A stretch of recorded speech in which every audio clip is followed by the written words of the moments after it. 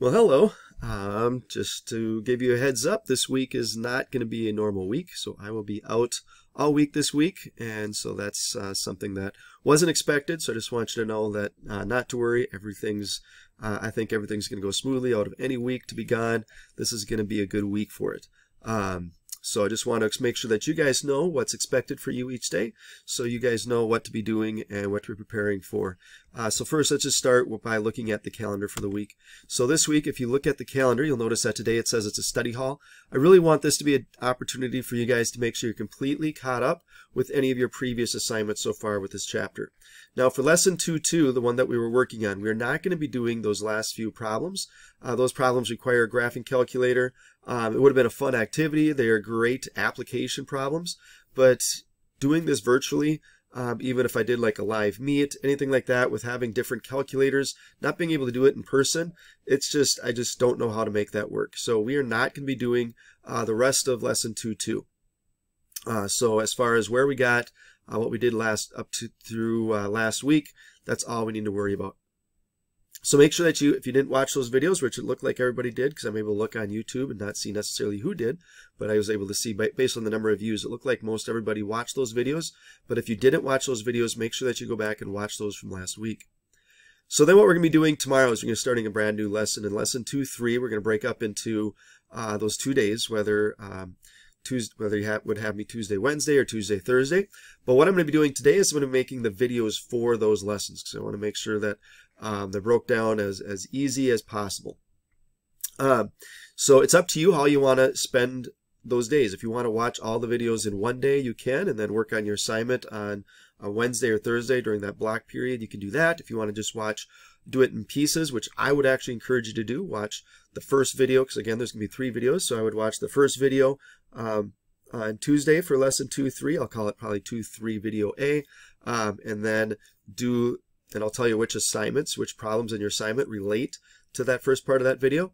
And then on Wednesday or Thursday, depending if you're an odd or even period, I would say watch uh, part B and then do those assignments and then do part watch the video for part C and then do the rest of the assignment uh, during that block period. That's how I would do it if I were my student.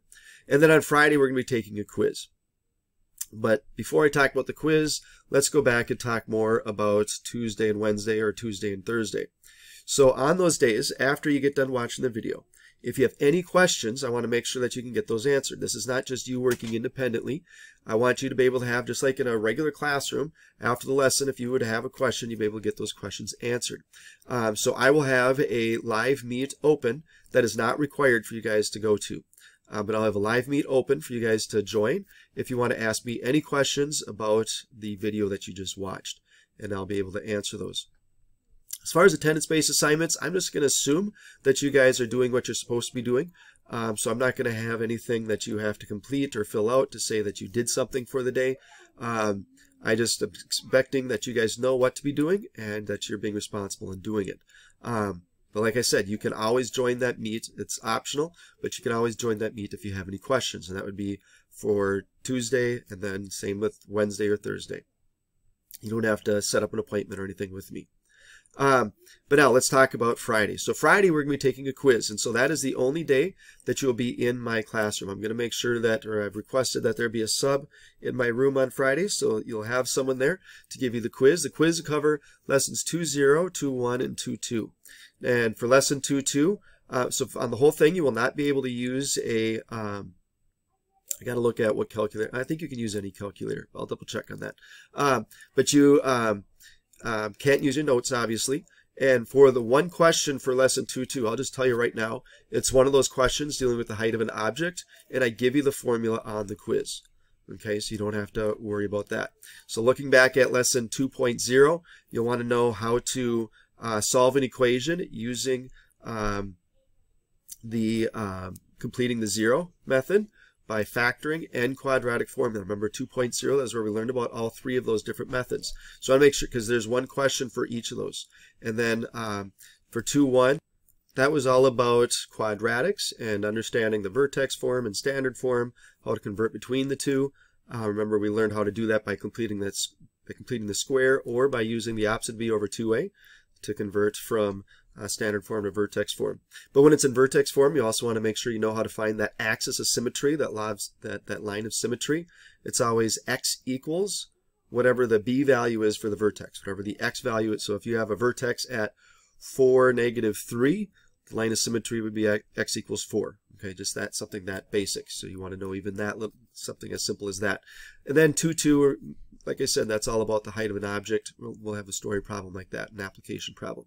So that's what's going to be on the quiz on Friday. So um, that's this week in a nutshell, and I'll be returning back to school on Monday of next week. Now, I know that there's some different uh, questions as far as retakes, getting to see your tests.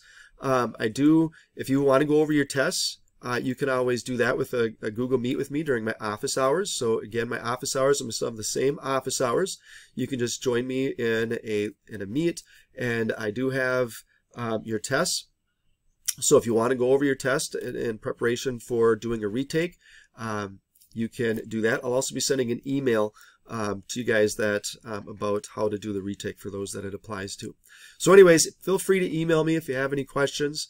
Um, good luck this week, and I hope it all goes well.